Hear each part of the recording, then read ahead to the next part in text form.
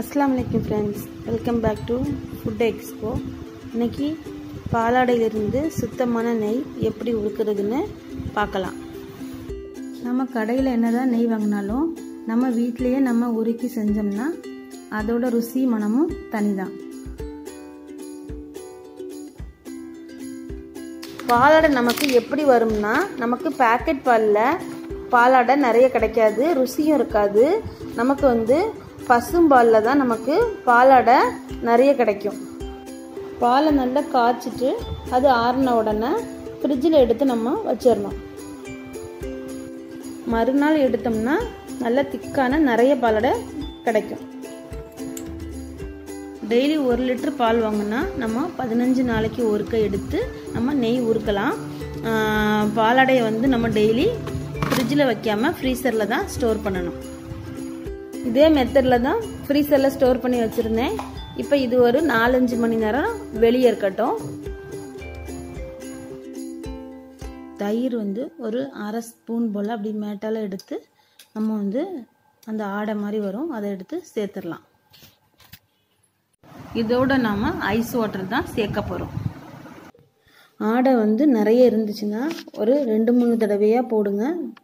ஒரேடியாக நம்ம ஃபுல்லாக மிக்சி ஜாரில் போடக்கூடாது. ஏன்னா நம்ம இதில் நிறைய தண்ணி சேர்க்கணும். அப்போ தான் நமக்கு சீக்கிரமாக பட்டர் வந்து நமக்கு பிரிஞ்சு வெளியே வரும். இப்போ வந்து நான் இது கூட ஐஸ் வாட்டர் தான் சேர்க்க போகிறேன் ஏன்னா இவ்வளோ நேரம் அது வெளியே இருந்ததுனால கூலிங்லாம் போயிருக்கும். நம்ம எப்போவுமே வந்து ஐஸ் வாட்டர் சேர்த்து தான் நமக்கு பட்ரு வந்து சீக்கிரமாக வரும். நம்ம அது பட்ரு வந்த பிறகு நமக்கு எடுக்கிறதுக்கு நமக்கு கையில் ஒட்டாமல் ஓரளவுக்கு ஈஸியாக வரும். ஃபஸ்ட்டு ஒரு பல்ஸ் பண்ணிடலாம். இப்படியே ஒரு நாலஞ்சு தடவை நம்ம பிளெண்ட் பண்ணிகிட்டே இருக்கணும்.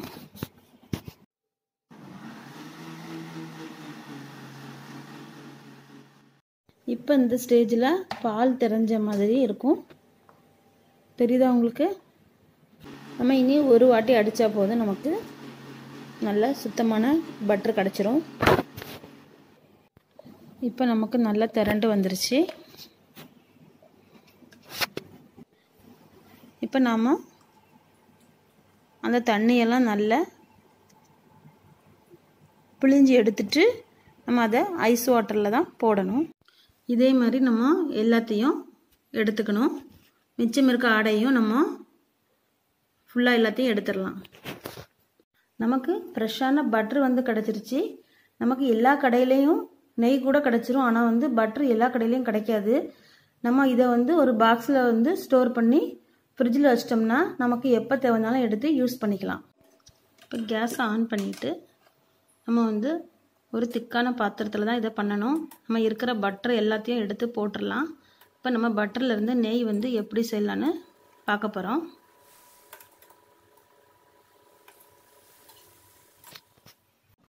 நமக்கு இப்போது கொஞ்சம் கொஞ்சமாக மெல்ட் ஆகிட்டே இருக்குது நம்ம அதை கொஞ்சம் அப்படியே மிக்ஸ் பண்ணி விட்டுட்டே இருக்கணும். நமக்கு நல்லா நுர மாதிரி அப்படி பொங்கிட்டு வரும். ஃபைனலாக ஒரு சிட்டிகை கல் உப்பும் முருங்கலையும் சேர்க்கணும். இப்படி தான் நான் பொங்கிட்டு வரும். நம்ம கைவிடாமல் மிக்ஸ் பண்ணிக்கிட்டே இருக்கணும். பட்டர்லேருந்து நமக்கு அப்படியே நல்லா பிரிஞ்சு நெய் தனியாக அப்படியே வருது பாருங்கள் ஓரளவுக்கு நெய் வந்து ரெடி ஆகிட்டு இப்போ அந்த கரண்டியில் வந்து நமக்கு வெள்ளை கலராக இருக்குல்ல அது வந்து அப்படி கோல்டன் கலராக மாறணும். நம்ம வந்து ஃபைனலாக முருங்கலையும் ஒரு சிட்டிகை கல் உப்பும் சேர்க்கணும் கோல்டன் கலரில் வந்துட்டு நமக்கு நெய் ரெடி ஆகிட்டு நம்ம இப்போ கேஸை ஆஃப் பண்ணிடலாம். நம்ம ஆறுனதுக்கப்புறம் ஃபில்டர் பண்ணிவிட்டு யூஸ் பண்ணிக்கலாம்.